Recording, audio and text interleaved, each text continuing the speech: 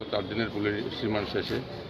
তাইও একটা দরখাস্ত দিয়েছেন, সেখানে আরও ছদিনের রিমান্ড চেয়েছেন, কিন্তু কী কারণে রিমান্ড চাইলেন সেটা জাস্টিফাই করতে পারেননি।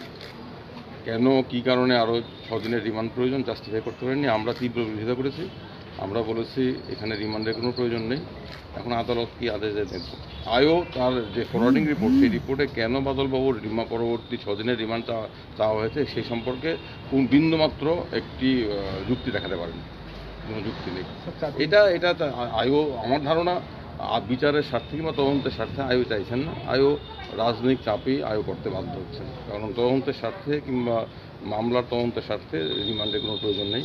চার দিনের রিমান্ডে আমরা বলেছি সব এগুলো যা ঘটনা সব সবাই জানে ডকুমেন্ট আছে লুকোবার কিছু নেই।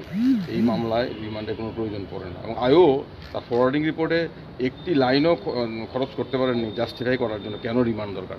চাই রিমান্ড চাওয়ার জন্য চেয়েছেন চাপে পড়ে চার দিনে কিছু পাওয়া না? না কি পাওয়া যাবে? উনি তো এটা এই মামলা সবই তো প্রকাশ্যে আছে। এবং উনি তো আইন মোতাবেকই সব করেছেন কি পাওয়া যাবে? পাওয়ার কিছু নেই। আপনারা তো আমরা আমরা আপত্তি করেছি এখন আদালত আমরা বলেছি আদালতকে যে আমার আমাদের মক্কেলের অধিকারকে রক্ষা করার জন্য আদালত নিশ্চয়ই সব দিক বিবেচনা করে আদেশ দেবেন।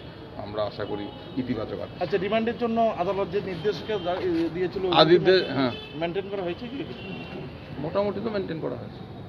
আদালতের নির্দেশ তো মানতে হবে উপায় নেই। না না আয়ু যে রিমান্ডে নেওয়ার পরে যে যে এইগুলো তো মানতে হবে মান- না না উপায় নেই। ঠিক আছে স্যার একটা ইংলিশে লেখা